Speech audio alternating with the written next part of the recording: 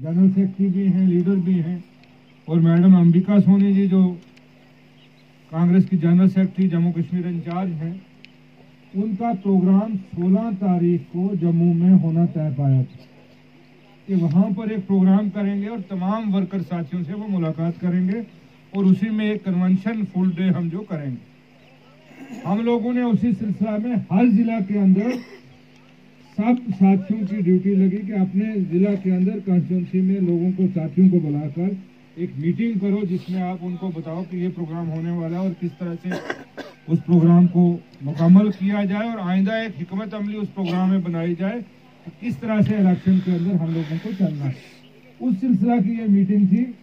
लेकिन ये जलसे में तब्दील होगी और खूबसूरती की बात यह है कि जिसको सब कहते हैं कि कांग्रेस कमज़ोर है गुलाबगढ़ में, उस कांग्रेस के वर्कर सिपाही जब इतने मज़बूत हो, जो आठ घंटे से बैठ कर फिर वो एक दूसरे से बात कर रहे हो, मेरे ख्याल में कांग्रेस कमज़ोर नहीं हो सकती। उनके दिल कमज़ोर है अपने।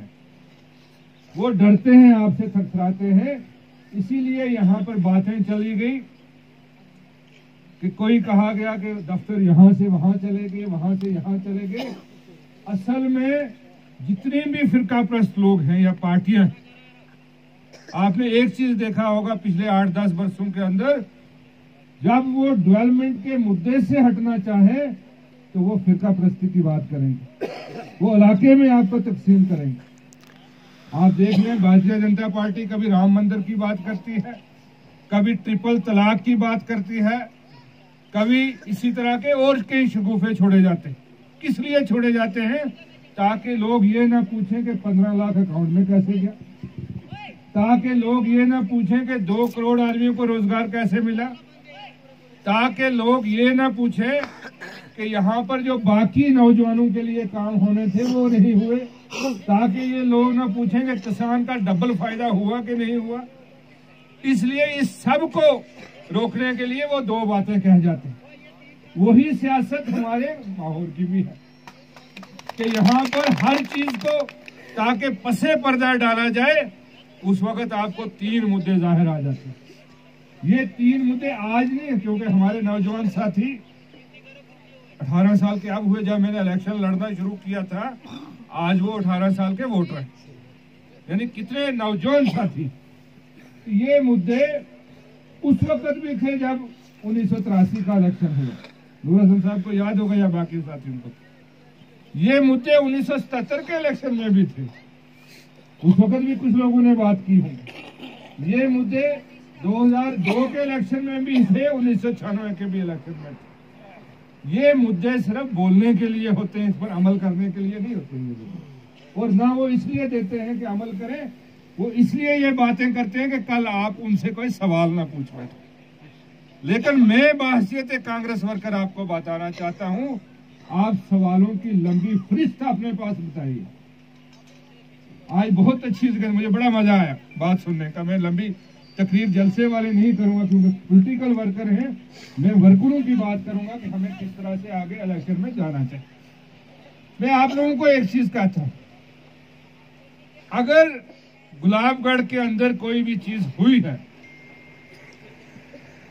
गुलाबगढ़, पूरे गुल गुलाबगढ़ की मैं बात करता हूँ। उसमें किस नुमाइंदे का रोल रहा वो आपके सामने? किसने किया होगा? या तो एक ही हम लोगों ने किया, हाजी बुलंद खान साहब ने किया आपके सामने है। कहीं जब मैं जाता था, मुझे एक चीज़ सबसे अच्छी लगती थी। मैं कहता था, जब वहाँ पर जाते थे, कहते थे जी यहाँ पर बिजली के दस पोल लगे हैं, ये हाजी साहब ने लगाए, बाकी वाले आपने लगाने। यहाँ पर प्राइमरी स्कूल है जी, इसको हाई आपने करना। यहाँ पर ये पाइपें एक मोहल्ले को लगी है जी, बाकी मोहल्ले को आपको लगनी है। और इसी तरह की सूरत मेरे इस कॉन्स्टिट्यूंसी के अंदर भी वही सूरत देखी आप आप ध्यान से मेरी बात सुनिए। अगर यहाँ पर चीफ मिनिस्टर कभी किसी ने लाया और जिसने कोई कंट्रीब्यूशन दी, वो हाजी बुलंद खान साहब थे यहाँ शेख शेख अब्दुल्ला को बलमत कोर्ट के मुकाम पर बिठाया। तो ये नेशनल हाईवे उस वक्त की देन अगर नहीं है, कोई भी यहाँ का सियासतदान चैलेंज करके बताए कि ये उस वक्त की देर नहीं। जब फारूक अब्दुल्ला साहब चीफ मिनिस्टर थे लद में उनको बिठाया, गुलाम नबी आज़ाद साहब को हमने लद में बिठाया, गुलाम नबी आज़ाद साहब को हमने बन्ना में बिठाया। और उससे चीज़ें हासिल होने लगी। इन्होंने लाए लीडर, जब ये, जब सरकार में थे या सरकार के साथ कोई था, उस वक्त तो कहते थे, भाई, हम तो मिनिस्टरों को ला रहे हैं। हम तो वजीरों को ला रहे हैं, हम तो वज़ीर आला को ला रहे हैं। लाए आपने, दिया क्या? वो हिसाब तो करो। मुमताज़ साहब तो तीन साल के लिए एमएलए रहे, लेकिन पीछे कहाँ पर रहे? एमएलए का काम है बिजली, पानी और सड़क। तीन चीज़ें काम है कि नहीं है? नरेगा के डंगे एमएलए ने नहीं लगाने। के लगाने हैं, मैं वर्करों को कहूँगा, नरेगा की। बात सरपंच ने करनी है। वो हिसाब मुकम्मल हो गया। जिसने अच्छा किया, जिसने बुरा किया, जो जीता हारा आपने बदला ले लिया, जिससे लेना। साहब यही है, एक फांसी की सजा दो बार नहीं होती है। एक कत्ल की सजा दो बार नहीं होती है, चाहे वो मेरी पार्टी का था, चाहे दूसरी पार्टी का हिसाब बराबर, जिसको हराना था, हरा दिया, जिसको जिताना था जिता दिया। नरेगा का हिसाब आपने मुकम्मल कर लिया। बाकी चीज़ें आपने हिसाब जो मुकम्मल कर ली। एमएलए के हिसाब में अगर सड़कें तीन साल में जितनी मुमताज़ साहब ने बनाई तो बाकी भी तो कुछ बताएँ कि हमने ये किया। भाई, हमने ये आपकी सड़क बनाई। जब यहाँ पर कोई वज़ीर आते थे, या कोई बड़ी बड़ी बातें होती थी तो उस वक्त तो बातें होती थी कि हम तो ये यहाँ से टनल खोद रहे हैं। क्या नाम है? गुलाबगढ़ से आगे नंदी के लिए। तो वो टनल कहाँ पर पहुँचा है? हमें भी तो पता लगना चाहिए भाई, सरकार आप लोगों की। यहाँ पर कहा, हम आपका तो भारतीय जनता पार्टी का तो समझौता था पीडीपी और बीजेपी वालों का। क्या किया गुलाबगढ़ के लिए उस समझौते के अंदर आप लोगों ने? नेशनल कॉन्फ्रेंस ने यहाँ पर कौन सा आदमी है जिसको नया आपने आजमाना मैं आपको एक साफ़ बात बताता हूँ। हाजी बुलंद खान साहब रहे या उनके हम बेटे हैं, हम आजमाए हुए नहीं आपने। आजमाए हैं, हम नुमाइंदगी में रहे, चाहे हारे हारे या जीते। चाहे हारे या जीते, आपके सामने रहे। चाहे छानवे में हम भी हार के हम भी तो कह सकते हैं उन्नीस सौ छियानवे में हारे। हम भी तो कह सकते हैं हम 2002 में हारे। हम भी तो कह सकते हैं हम 2008 में हारे, लेकिन हम हिसाब उन्नीस से लेकर 2019 तक का देते हैं। अगर वो लोग भी इलेक्शन उन्नीस से लेकर 2019 तक लड़ा। हारे या जीते, वो तो उनकी कंपेन थी। सरकारें तो रही, जिस तरह नूर हसन साहब ने कहा, जनता पार्टी की सरकार रही, यहाँ के जनता पार्टी का भी कोई इलेक्शन लड़ा होगा। कांग्रेस की सरकार रही, यहाँ पर कोई इलेक्शन लड़ा होगा। नेशनल कॉन्फ्रेंस की सरकार रही, उनकी भी रही, कोई इलेक्शन यहाँ से लड़ा होगा। पीडीपी की, हर पार्टी की सरकार रही। और हर एक नुमाइंदे ने पाँच पाँच छह छह बार इलेक्शन लड़े हुए। नया कोई नहीं है हमारे में से। सभी पुराने। कहते हैं, अब बड़ी बातें करनी थी कभी दूसरा जलसा होगा जिसमें उस दिन करेंगे। कहते हैं मुमताज़ साहब, तीन साल मुमताज़ साहब जी आए, ये तो दिल्ली से स्कीमें आई भाई गोजरी के चुंड सुलखनी खुंड आए आए तो सही ना। तुम्हारी चुंड क्यों इतनी पैड़ी के तुम्हारा कोई नहीं देखा? तेरे तेरे तेरा दूध केड़ा इस तरह हुआ कि जैसे ऊपर पिए नहीं चाहिए तो मारे अंदर यानी कहीं ना कहीं से जहाँ से भी आया, मैं घर से नहीं देता हूँ। मुमताज़ साहब घर से नहीं देता है, मलक साहब घर से नहीं देता है, कोई दूसरा, तीसरा आदमी वो घर से नहीं देता है, महबूबा मुफ्ती जी घर से नहीं देती है, उमर अब्दुल्ला साहब घर से नहीं देते हैं। गुलाम नबी आज़ाद साहब घर से सब फंड लाते हैं कहीं ना कहीं कांग्रेस की पार्टी गुलाम नबी आज़ाद साहब चीफ मिनिस्टर आए, हमने ट्रिपल शिफ्ट शुरू की। जो एक मजदूर को एक दिन तिहाड़ी मिलती थी, उसको तीन दिन मिलती थी। क्यों? क्योंकि वो एक्स्ट्रा मजदूरी करता था तीन दिन तिहाड़ियाँ लगती लगती थी कि नहीं? पैसे लाए ना, दिल्ली से ही लाए। हमने थोड़े कोई कहीं दूसरी जगह से लाने। आज नरेंद्र मोदी साहब ने नहीं देने। तो जितने मर्ज़ी तुम काम करते रहो नहीं देने। सीधी सीधी बात है, नहीं देने। कल बजट हो गया उसके, पांचवा बजट हो गया। हो गया कि नहीं हो गया? पांचवा बजट क्या दिया उन्होंने? गरीब आदमी के लिए क्या दिया? मैं देख रहा था एक दिन कोई किताबें पढ़ रहा था, हिंदुस्तान के अंदर पचास फ़ीसद पचास, पचवंजा फ़ीसदी पैसा जो है, दौलत जो है, वो एक परसेंट अमीर लोग हैं हिंदुस्तान उनके पास। पचास बाकी अड़तालीस फ़ीसदी दौलत जो है वो कितने लोगों के पास है? नड़िनवे परसेंट लोगों के पास। तो टैक्स जब लगना, गरीब पर लगना। जुल्म जब होना, गरीब पर होना। पसीना गरीब ने बहाना, टैक्स गरीब पर लगना। और आमदन फ़ायदा किसको? अमीर आदमी को। इसी तरह की सूरत हाल इधर भी है। तड़पने का ये शौक, ये जोश, ये डिस्टर्ब शिफ्ट करना, वो शिफ्ट करना, जो ये बातें हो रही हैं, ये बातें सिर्फ़ इसलिए हो रही हैं कि जिनके झोले खाली हो गए ना, जो वो बीच के मिडल मैन थे जिनके झोले खाली हो गए। मैं तफसील में नहीं, वो सोचते हैं ये मुर्गे कैसे बने? उनको किसी मोहर के डिस्टर्ब का शौक नहीं है। अगर सही बात करें। हमने जब भी बात की, मैंने आपको पता है, जब मुमताज़ साहब एमएलए बने, मैंने एक चीज़ यहाँ से की थी कि आज हमारे पास दो कॉन्सिक्वेंसी हैं। हमने इस गुल गुलाबगढ़ को एक करना है। क्यों जंग आपस में? एक होना चाहिए। अगर जिला बने तो गुल गुलाबगढ़ एक होगा तो जिला बनेगा कि दो होंगे तो जिला बनेगा। तो ये लोग वो हैं जो क्या तकसीम करते हैं गुल को एक तकसीम करते हैं, गुलाबगढ़ को तीसरा तकसीम करते हैं और अरनास ठाकरा कोट थुरू को तीसरा हिस्सा बनाते हैं। जब तीन हिस्से आप कर दोगे, आप कहाँ से डिस्ट्रिक्ट लाओगे? ये तो जंग उसी वक्त शुरू कर रहे हैं। हमने तो नहीं कभी कहा कि हम दरवाड़ी जिला ले जाना चाहते हैं। ख्वाहिश तो जान मोहम्मद के दिल में भी है। ख्वाहिश तो असलम के दिल में भी है। ख्वाहिश तो चिप संजीत के दिल में भी है। केवल सिंह को भी दिल होगा कि शायद मुझे चिमकाई जिला बने। किसको ख्वाहिश नहीं होती? लेकिन उस बनने तक पहुँचने की ज़रूरत है। आज तक मैं कहूँगा, असेंबली के अंदर या असेंबली के बाहर कोई रिकॉर्ड नहीं है। आज तक किसी लीडर ने यह कहा होगा कि घूल गुलाबगढ़ को आप एक जिला दे दो। आप रिकॉर्ड बताओ। एक रेजोल्यूशन इनको कहो, बता दो, आपने किसी को पेश किया? एक पासनामे में किसी ने पेश किया। कोई एक एक कोई एक रिकॉर्ड दे दें कि आपने कहा कि गोल गुलाबगढ़ एक जिला होना चाहिए। बताएँ अगर ये बताएँ कि हमने ये किया उस जिला के, के लिए जिस जिला पर आज जंग शुरू हो गई है वो पहुँच आया। वो सलाल डैम से इधर तब रहा है अब हमने कब्जा किसने करना है? बात तो ऐसे चल रही है सिर्फ़ कब्जे की बात है किसने हासिल करना है।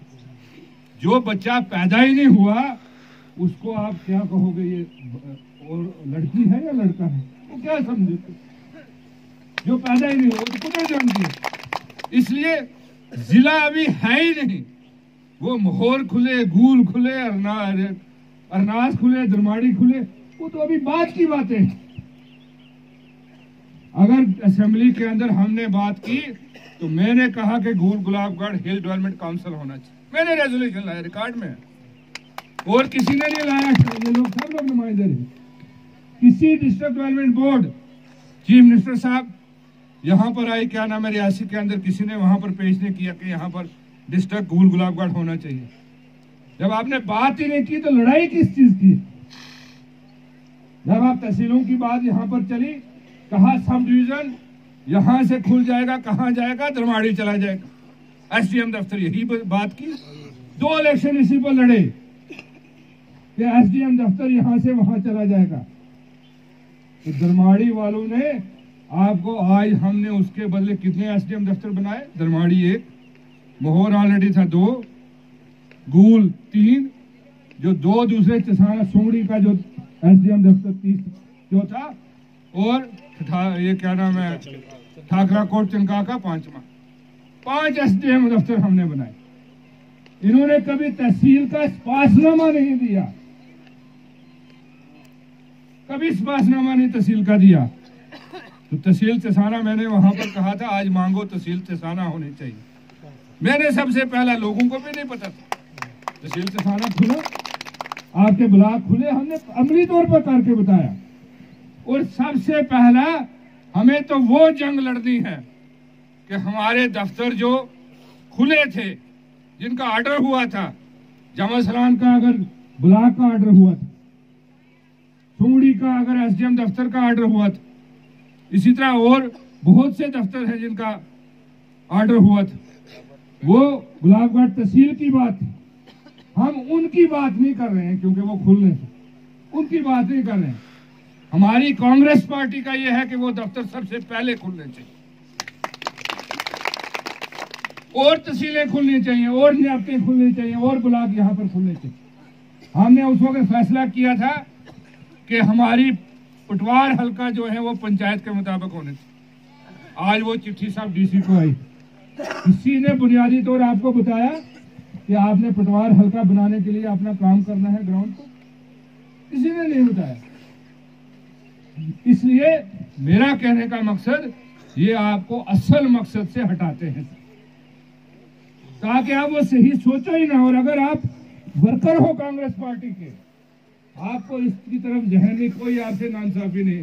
हाजी बुलंद खान साहब के खानदान का आदमी कोई नानसाफी नहीं कर सकता। क्यों नानसाफी करेंगे हम लोग? हम नानसाफी करने के लिए तो नहीं आए इधर। हम शौक से सियासत में आए हैं। कोई दूसरा पेशा नहीं, मैंने ठेकेदारी नहीं बनाई, मैंने कॉलेज नहीं खोले, मैंने वकालत नहीं की, मैंने एल की मैंने कोई दूसरा पेशा नहीं किया, सिर्फ़ सियासत अपना पेशा रखा। क्यों? सबसे बड़ा पेशा अगर ये भी पूरा निभ जाए तो फिर आदमी के हिस्से पहुँचता इसलिए मैं आपको कहता हूँ, आप इन लोगों के इन सवालों जवाबों में मत पड़ो। अगर इन सवालों को जैसे टीवी डिबेट शुरू हो जाती है ना, उलझाने के लिए, ताकि लोग असल मकसद सोचे ही ना। इतनी सी बात है। इतनी सी बात है, इससे ज़्यादा कुछ नहीं। लेकिन जब भी गाँव के अंदर बैठो। असल मुद्दे की तरफ़ बात करो कि हमारे बच्चे अनएम्प्लॉयड हैं, इनको रोज़गार कैसे दिया जाएगा? सबसे बड़ा चैलेंज आज मैं कल देख रहा था एक रिपोर्ट कि जम्मू कश्मीर में सबसे ज़्यादा अनएम्प्लॉयमेंट है और खासतौर पर फीमेल में सबसे ज़्यादा एम्प्लॉयमेंट है। बारह परसेंट एम्प्लॉयमेंट सिर्फ़। सिर्फ़ बारह परसेंट लोग जो बच्चियाँ हमारी हैं, उनको रोज़गार मिला है, बाकी सब बेरोजगार है। हमने उसके लिए जतन करना हमने उसके लिए तरीके बनाने आज अमली तौर ये होता है कि अगर आज कांग्रेस की सरकार राजस्थान में आई, आज कांग्रेस की सरकार मध्य प्रदेश में आई, आज कांग्रेस की सरकार अगर छत्तीसगढ़ में आई तो कैसे 24 घंटे के अंदर अंदर किसानों का जो लोन है वो माफ़ हो गया? हुआ कि नहीं हुआ? वरना तो नरेंद्र मोदी साहब ने सबके अकाउंट वो क्या क्या क्या अकाउंट के नाम बड़े मज़ेदार देते हैं। जन धन योजना। जन धन योजना कहीं ना धन तो ना जन तो ना कुछ इसलिए आज कांग्रेस की सरकार जब तीन स्टेटों में आई वहाँ पर शुरू किया राजस्थान से शुरू किया कि पैंतीस सौ रुपया अनएम्प्लॉयड को स्टाइफन पैंतीस सौ चार हज़ार हर बेटी और बेटे को मिलेगा, जब तक उसको रोज़गार नहीं मिलता। कांग्रेस पार्टी ने शुरू किया रिकॉर्ड है। पैसा अकाउंट में ट्रांसफ़र होना शुरू हो गया? हम तो उसके लिए काम कर रहे हैं। हम उन बच्चों के लिए काम कर रहे हैं, जिस बच्चे को खाने को रोटी नहीं होगी, उसको जिला को क्या करना है उसको? वो क्या करेगा जिला को? उसको एसडीएम दफ्तर को क्या करना है? उसको किसी दूसरी, तीसरी चीज़ जो बड़ी बड़ी बताएँगे, उसको क्या करना है उसको? तो पेट में रोटी चाहिए भाई।